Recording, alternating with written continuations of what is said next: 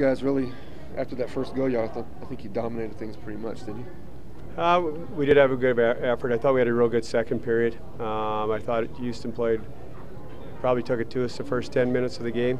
Um, you know, but then we got one on the power play and we had a good penalty kill, and the penalty kill seemed to get us going a little bit.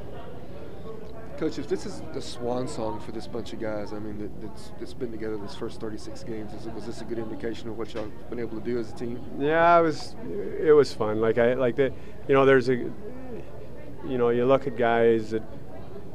You know, some guys are thinking of the NHL camp, but they played just as hard, anyways, and that. That's just true credit to their character and who they are, and and uh, you love to see that. You know, you like guys that play hard no matter what, and I think in the end that pays off for you if that's who you are. So it was good. Lots of guys battled again tonight, and uh, I thought we had real good tempo. You only had 13 shots on goal against you. I mean, Nilstorp had three or four really good saves in there, and keep that, keep all in the game. Is you got to be happy with the, your defense though overall, right? Yeah, it was good, but Nilstorp did make it was more than three and four. He probably had eight or nine real good saves, and uh, it was a bit of a strange game that way. As if we gave him something, it was big, but uh, he came up big, and uh, you know it's three one. So if they get one, it's a tight game. So you know he, he played real well for us. Can you talk about the effectiveness of the power play over the last stretch? I mean, you guys had some fits and starts getting started, but you guys are really on fire these past few games. Yeah, it's good. Uh, you know, Morin's unit uh, uh, they played together last year, and uh, you know they were a little bit slow starting this year, but they're they're starting to you know to execute real well and. Uh, you know the odd break here or there too helps. Uh, you know we maybe got a couple breaks here and there on it, but they were good tonight. Played well.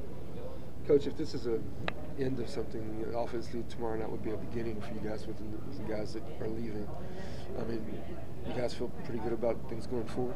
Yeah, but it's it's like any new group. You have to. You, there's nothing given to you. You have to earn it and you have to show it. So, um, you know, when we have the kind of the you know the new mix of guys, and somebody has to step up, and we have to get different leadership and. Uh, um, it'll be interesting to see.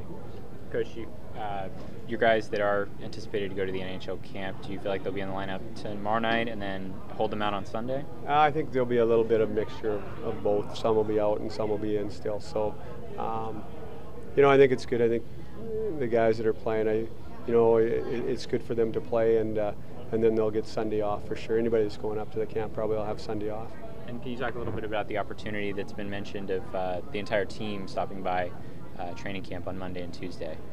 Yeah, that's a great opportunity. I think as a player, you want to show what you can do against NHL players. So it's a great chance for lots of guys. And, uh, um, you know, a lot of our guys have they've worked real hard for that opportunity. And, and I think, you know, a lot of guys have put themselves in a position where, where they will get watched. And uh, if something happens up top that they don't like, I think they'll get a chance.